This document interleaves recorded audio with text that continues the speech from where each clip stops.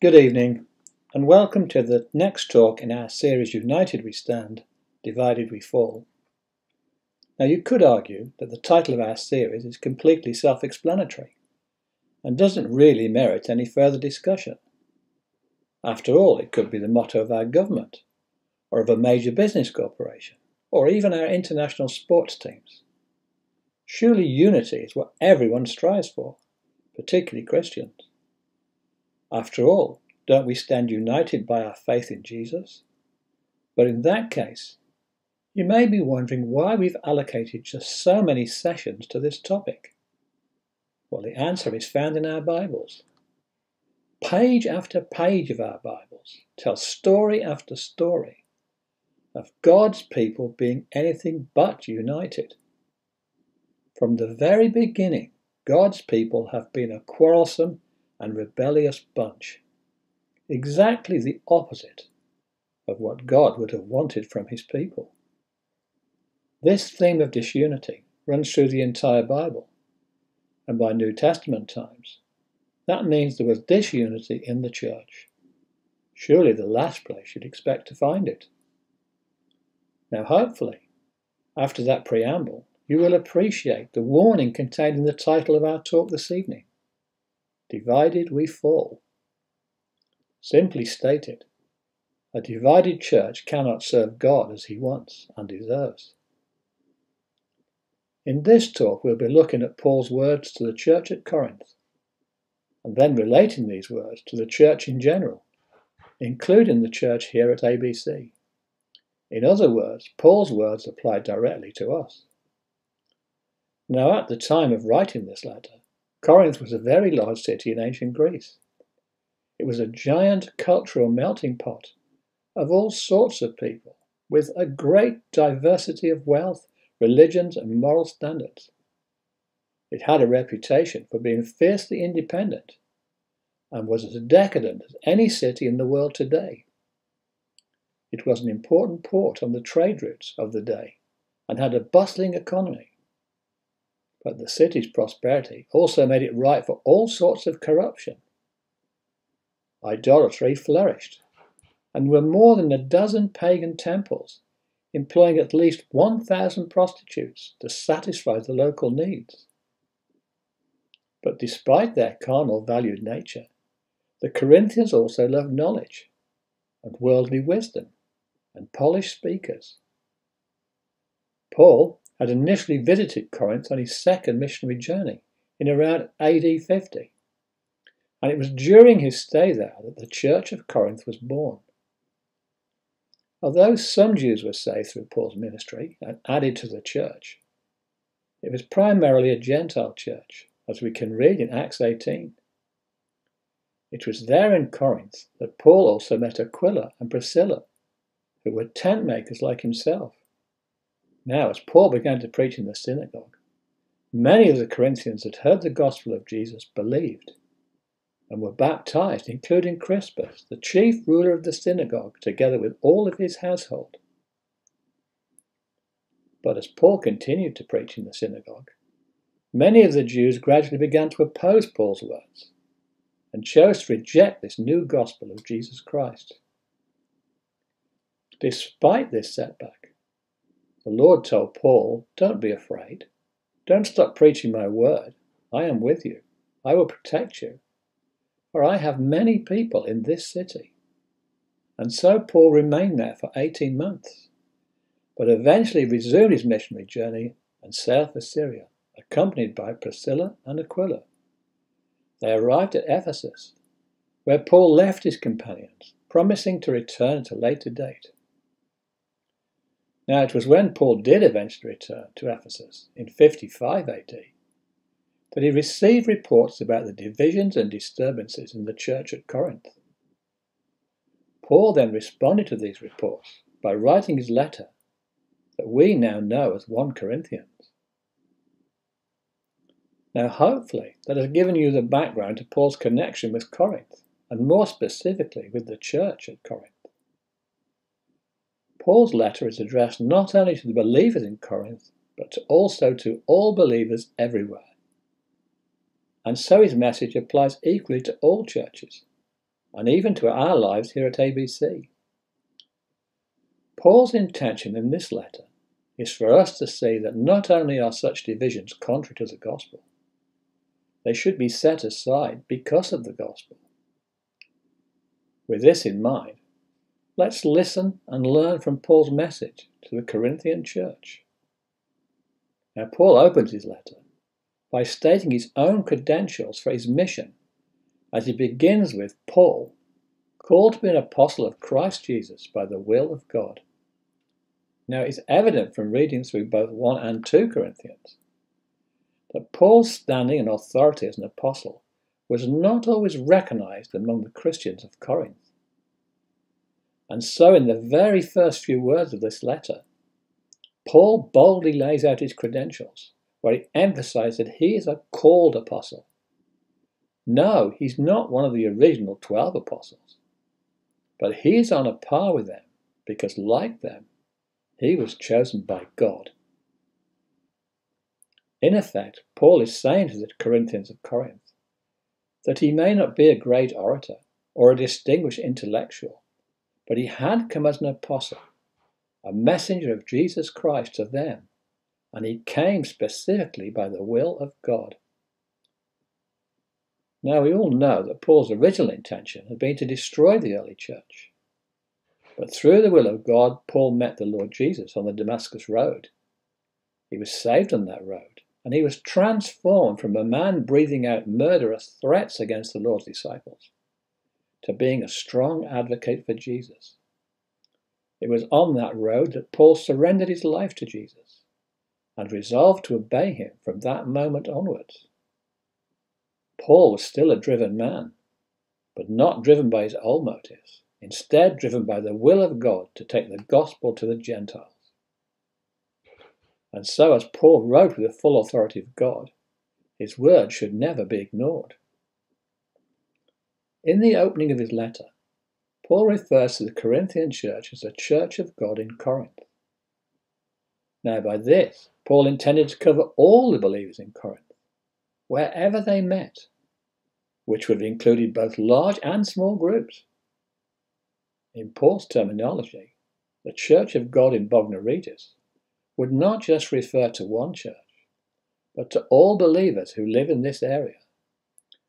Paul wants us all to understand that no single church can claim a monopoly of God's blessing, as Jesus is the Lord over all of God's churches. Therefore, what Paul says here to the Corinthian church also applies to the church here in Aldwick and to every other place where believers call on the name of the Lord. Paul sees the church as one group of believers who were all equally lost as unbelievers and all who are now equally saved through the person and work of Jesus Christ. Furthermore, Paul is careful to emphasize that the standing of the believers in Corinth and elsewhere is solely the result of the grace of God, revealed through the Lord Jesus Christ. There really are no grounds for boasting except in the person and work of Jesus. But we shall soon see this wasn't what was happening in the Corinthian church, which was plagued with divisions and cliques. Despite these divisions, in verses 4 to 9, Paul continues with a positive note of thanksgiving, even though he's writing to a church that has begun to listen to false teachers and who were challenging Paul's own authority, a church that condoned immorality and whose personal conflicts were being aired out before unbelieving eyes in the secular courts. In which case, how can Paul possibly give thanks? Well, he does, but not for their personal failings. Rather, Paul gives thanks to God for what he has done and for what he will ultimately do for his children. Paul first gives thanks for the grace of God which he has given to all believers through Jesus Christ. It is apparent from these verses that the church at Corinth didn't lack any spiritual gifts. God had provided just the right gifts for the growth and maturity and ministry of all the believers in Corinth. If the church at Corinth was failing, it was not due to any failure on God's part to provide for their needs, but rather a failure on their part to use these gifts as God intended. But this isn't meant to be just a letter of censure. Paul wanted the Corinthian believers to know that God would consider them blameless when Christ returns. This guarantee was not because of their great gifts or their shining performance, but because of what Jesus Christ had accomplished for them through his death and resurrection. All who believe in the Lord Jesus will be considered blameless when Jesus returns, if they have faith in Jesus, even if that faith is weak sometimes. Jesus promises that all believers are and will be saved. And so finally we come to the divisions in the church which are covered in verses 10 to 17. Reading from verse 10 onwards, our Bibles say this I appeal to you, brothers and sisters, in the name of Lord Jesus Christ, that all of you agree with one another, so that there are no divisions among you, and that you may be perfectly united in mind and thought. My brothers and sisters, some from Chloe's household, have informed me that there are quarrels among you. What I mean is this one of you says, I follow Paul, another says, I follow Apollos, and another, I follow Cephas, that is Peter. Still another says, I follow Christ. In response to this news, Paul urges his brothers in Corinth, in the name of our Lord Jesus Christ, to be perfectly united in mind and thought, as this simply wasn't the case at present. In verse 12, Paul identifies the disunity in the church is being caused by groups who identify themselves exclusively with one leader, as opposed to the other leaders. Now we must remember that, as yet, there was no New Testament. And so the believers depended heavily on preaching and teaching for spiritual insight into the meaning of the Old Testament and Jesus' ministry through visiting preachers. Now, in this large and diverse Corinthian church, as in many of our churches today who welcome visiting preachers, the believers had their own personal favourites. And of course, this can be a problem for today, as in many churches, the messenger has become more important than the message. In many cases, people seem to be preferred to be entertained rather than challenged by a heart searching, gut wrenching message. Now, as we've just read, in Corinth some followed Paul because he had founded their church. Some who had heard Peter preach in Jerusalem followed him, while others listened only to Apollos, an eloquent and popular preacher who had a dynamic ministry in Corinth. Although these three preachers were united in their message, their personalities attracted different people. And so at this time, the church was in danger of dividing into different factions, with each faction believing their man was the one to follow. And in doing so, was saying loudly and clearly that we are the ones who are really right with God, not you. But what of the fourth group? The one who said they were of Christ. Surely they were right. Well, actually, no, they weren't. Because in this context, they were no different to the others as they were saying, You are so carnal, following after these mere men. We are following in the footsteps of no one less than Jesus himself. We are the ones who are really right with God, not you. Can you see that in each case these groups were setting themselves apart and above the rest of the believers? Now, Paul argues in verses 13 to 17 that the division among the Corinthians over men is against the nature of the gospel and is against the ministry which Paul had presented to them earlier in Corinth. Paul then makes it clear that Jesus Christ cannot be divided between factions. You cannot cherry pick from Jesus' teaching to suit your audience. Jesus' message is complete, and nothing should be added to it or taken away from it. Paul reminds the church that it was Jesus Christ who'd been crucified with the Corinthians, not Paul himself, or indeed any other of their leaders. It was Christ's sole responsibility and it was God's will that that's how it should be. Paul then made it clear that his own particular calling was to proclaim the gospel message clearly rather than to baptize people. He emphasized that the Corinthians were not baptized in the name of Paul, Peter, or Apollos, but in the name of Jesus. He then makes it clear that his ministry does not revolve around baptism as a central feature, but on clearly proclaiming the gospel. Now, when Paul says that Jesus didn't send him to baptize, he wasn't minimizing the importance of baptism. After all, baptism was commanded by Jesus himself and was practiced by the early church. Paul was simply saying that no one man could or should do everything, and that his gift was of preaching. And so that's what God wanted him to do. Then and now, Christian ministry needs to be a team effort. No single preacher or teacher can ever be our sole link to God. And yet, in our day, so often people think the minister should do everything. And if he doesn't, they think he's failing in his duty and feel quite at ease to tell him so. But this is totally unfair and completely wrong. All of us have been given a gift to use in God's service and at God's direction. Our role is to make sure we use these gifts wholeheartedly for God's glory, not ours. In every church, including here at ABC, there are many ministries, and that is a really good thing. But let's make this very clear. No one ministry is better or more important than any other, certainly not in God's eyes.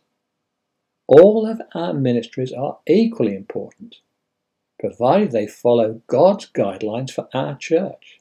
Our ministries should reflect the three guiding principles given to us by God namely, to love God, to love each other, and to love the lost. These three principles are interlinked and involve all of us. But we must always remember that they are equally important. Doing well on two out of three isn't what God wants of us. This unbalances God's work here and prevents us from being the church God wants us to be. We are not alone in this, as most churches struggle to truly love the lost. Yes, the churches might be generous in their financial support and offers of help to those in need. Yes, churches might offer social benefits such as food parcels, playgroups, coffee mornings, film nights, youth clubs, and lunch clubs. All of these are worthwhile and offer practical help and practical advice.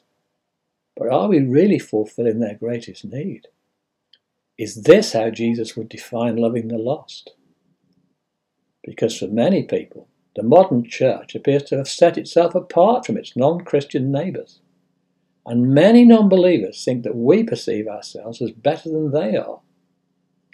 This then creates a division in our society as it introduces a notion of them and us into our culture.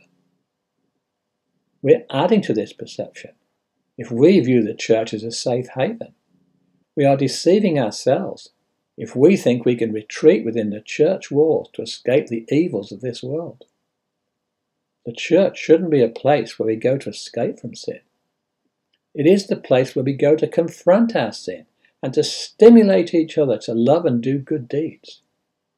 The church is not a Christian clean room where we go to get away from sin. It's a hospital where we can find help and healing through the ministry of God's word and prayer. The church is not a place which is kept holy by keeping sinners away.